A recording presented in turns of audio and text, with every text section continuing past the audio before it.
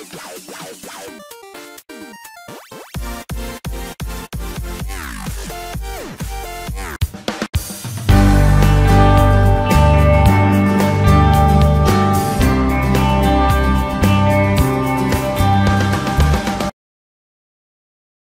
YouTube chess lovers and my friends, this is Gunjan here. Welcome to the 33rd episode of my chess trap. In this episode, I'm going to show you one of the beautiful and cunning trap in the Queen's Indian defense from the black perspective. Now the most surprising part is, one of the chess greats, Sigbert Tarrasch, once fall into this trap and not only him, time to time, every year, Many strong players are falling into this trap. So if you know this trap from both the side, then it is going to be very helpful for the tournament practice. The opening arises after the following move order d4, knight to f6. And here it doesn't matter whether white continue with knight to f3 or the move c4. Let's say in this game, Tarrasch continue with knight to f3 and after the move e6, white indeed played the move c4, which gives him the space on the queen side. Okay, now comes the typical trademark Queen's Indian move, b6, and we reach to the starting point of this opening.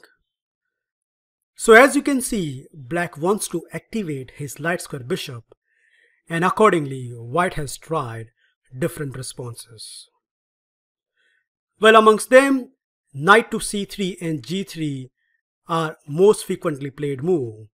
However, in this episode, we are going to look at one of the most popular choice by white camp, namely bishop to g5. So idea is very simple. White not only pin down this knight, but he wants to play e3 so that way his bishop remains outside the pawn chain. Okay, no issues. Black continue with bishop to b7, putting that bishop on a lovely long diagonal, and accordingly, white liberate his light square bishop with the move e3. Now, next two moves of the black are very important as it sets up the basic platform for the upcoming trap. The first one is very obvious, h6, asking the question to the bishop. And if white decided to grab the knight, then black is more than happy as he is going to capture with the queen and the net result is black obtain the bishop pair and in a long run this will indeed give advantage to the black camp.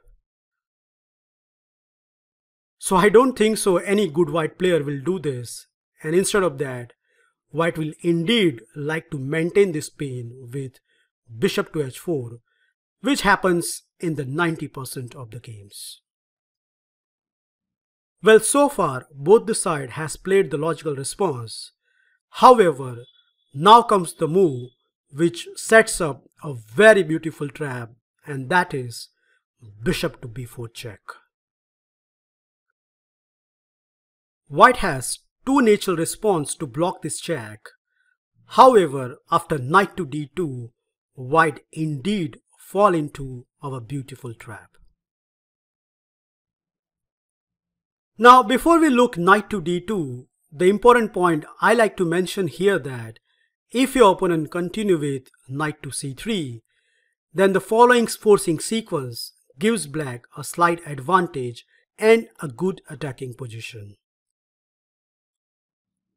The first obvious move is g5 attacking the bishop and after bishop to g3, we are going to pressurize this c3 knight with knight to e4. So white response is force. White has to defend this knight with queen to c2. But then after the move f5, not only black gets space on the king side, but he has a simple plan to execute, namely d6, knight to d7, queen to e7, and then castle on the queen side which not only secure his king, but later on black can look forward for a quick kingside activity, which is not easy to dealt with as a white camp.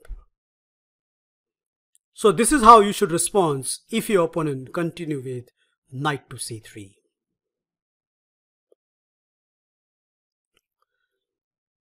Okay, it's a trappy time and let's check out what is going on after the move knight b to d2 which is a very natural response as white doesn't want to create a double pawn on the c file.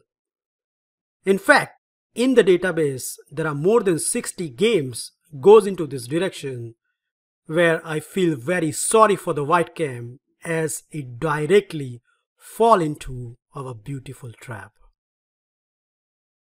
Now, before I move on, I like you to pause this video and find out a sequence where black instantly obtain a winning advantage.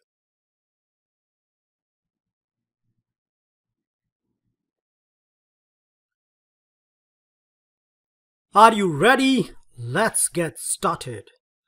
The first move is very obvious. g5, attacking the bishop.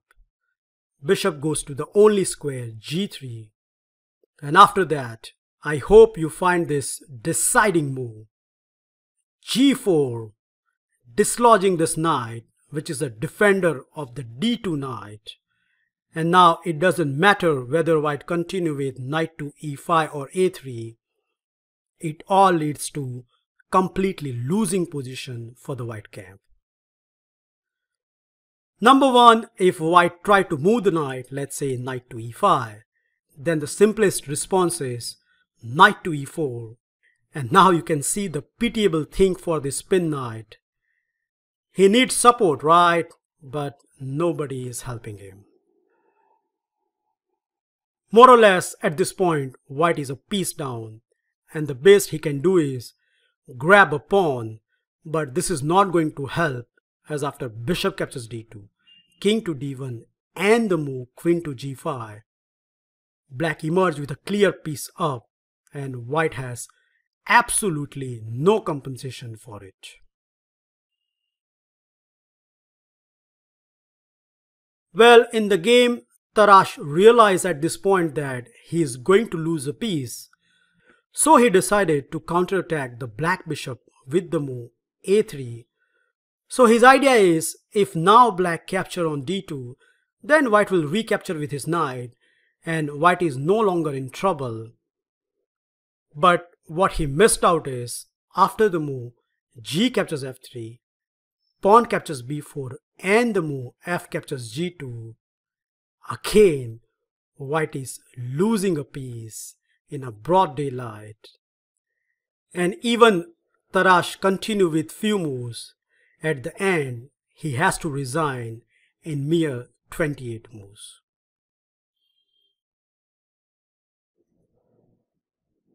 That's it guys. I hope you enjoy and learn this beautiful trap in the Queen's Indian defense.